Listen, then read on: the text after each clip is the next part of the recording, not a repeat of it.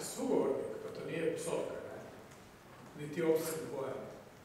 Da, retoričko pitanje, tko da bude sugovornik, ako ne netko koji je legitiman predstavnik tog naroda, koji je jedan od tri konstitutivne naroda u Bosni i Hercegovini.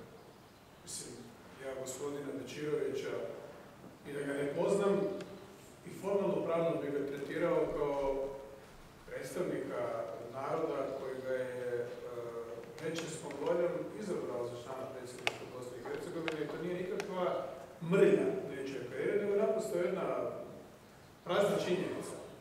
Dakle, ne trebalo biti strasti oko toga.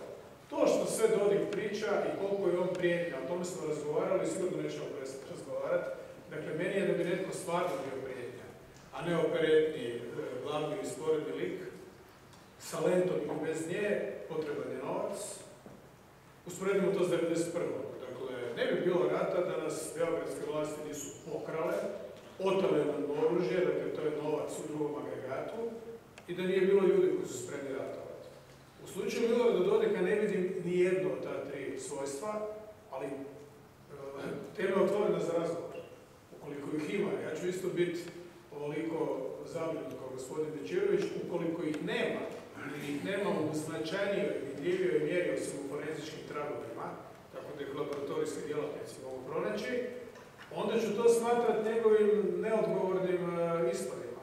Kao neki dan, kada je dogovor bio jedno sa njim oko devete, a dogodilo se drugo. To za mene ne predstavlja sigurnosnu, govorim u svoje sigurnosnu prijetnju, nego neozbiljnost. A takva neozbiljnost ugrožava odnose. I da vas pitam, ako pođemo od toga da je su, sugovornik nužna kategorija, e, tu nema nikakvih, dakle, nikakvog afektivnog odnosa. Sugovornik. a ti da ga traži u Moldovi? Tamo nema Srba, bosanski. Ili možda u onom krugu koji je od Dodika izgubio zadnje izbore, čija eksponentica me optuživala, malte ne optuživala Dodika zbog kontakata sa mnom, kao da sam član poglavnikovog uh, tjelesnog zdruga. Pa nisam. nisam. Čija stranka me predložila za personu non grata u Republici Srpskoj, kaj sto prijatelj. A ne govorimo o prijateljstvu, govorimo samo o dijalogu. Da. Prema tome, on je sugovornik.